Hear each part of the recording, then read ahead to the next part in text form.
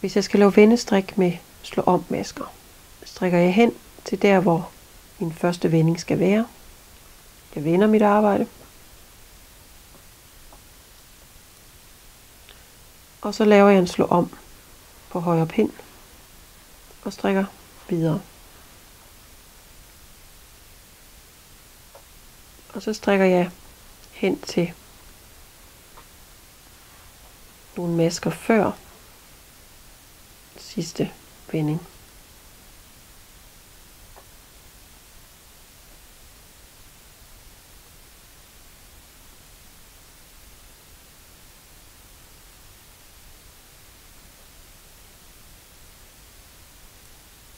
Jeg vender. Og nu strikker jeg så hen til 6 masker før sidste vending.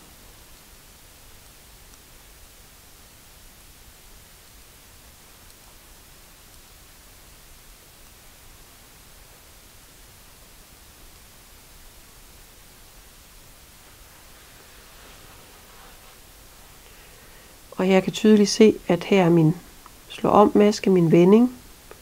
Og så har jeg seks masker, og så vender jeg. Jeg laver en slå om på højre pind og strikker videre.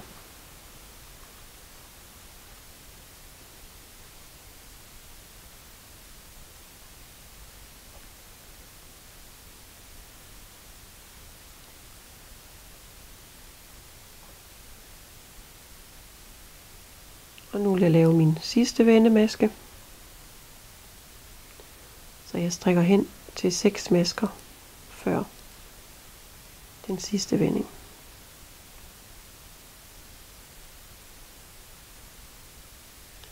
Jeg har den sidste vending her, og jeg har 6 masker, så jeg vender. Og jeg laver en slå om, og jeg strikker tilbage.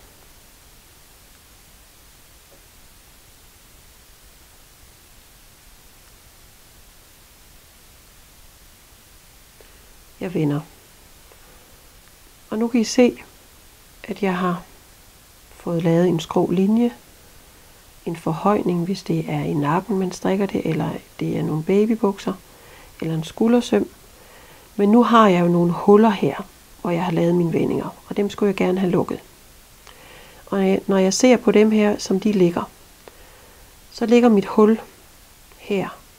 Og så for at få det lukket, så skal jeg strikke min slå sammen med masken efter. Så det jeg gør, jeg strikker ned til vendingen.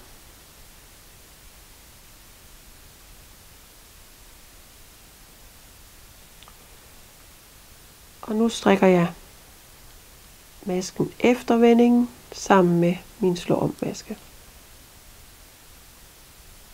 Og jeg strikker ned til næste vending. Jeg strikker den efterfølgende maske ret sammen med slå om masken.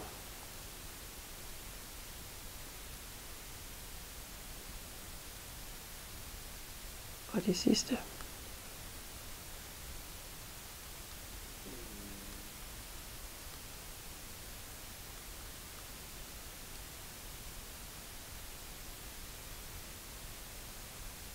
Så kan I se, at jeg har fået lukket mine huller. Fået ordnet vendemaskerne, og jeg har den skrålinje. Hvis nu jeg har lavet vendinger, som vender den anden vej, altså skråner mod højre, for dem jeg lige har ordnet skråner mod venstre, så er det en anden måde, man skal strikke, slå om masken sammen. Her kan I se, at jeg har lavet vendinger, hvor jeg har lavet den sidste vending fra retsiden, så nu skal jeg ordne dem ved at strikke dem på vrangsiden. Så jeg vender rundt, og så skal jeg så hen og strikke mine slå om masker.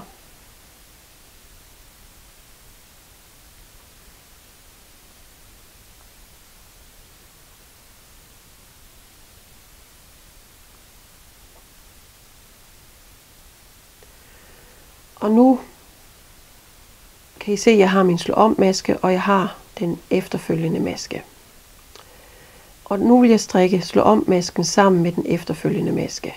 Men for at det bliver pænest på retsiden, så bliver jeg nødt til at gå ned og dreje min vrangmaske. Sæt slå om masken tilbage og strik dem drejet vrang. Det vil sige, jeg går bag ind i begge masker, altså.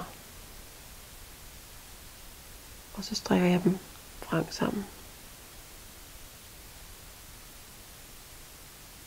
strikker hen til næste vending.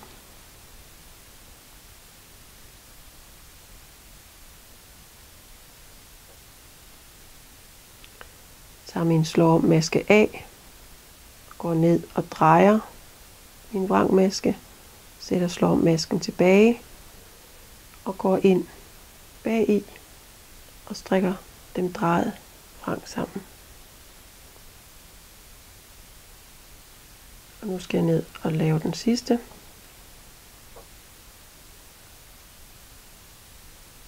Jeg tager slår om masken af, tager vrangmasken af, sætter den drejet på, slår om tilbage og strikker bag ind maskerne, drejet frem.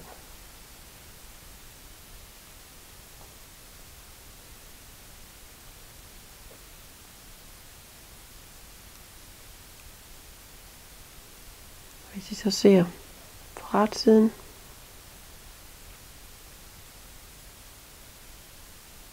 kan vi se, at vi har fået lukket hullerne.